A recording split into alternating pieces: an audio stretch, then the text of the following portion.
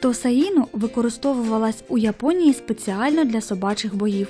Собаки цієї породи дивно терплячі, спокійні, відважні, дуже віддані хазяїнові, але чужим не довіряють агресивні до своїх родичів. Зовнішній вигляд Тосаїно вселяє побоювання, і при необхідності собака здатна бути надійним, безкомпромісним захисником. А при дресируванні потрібно проявляти твердість.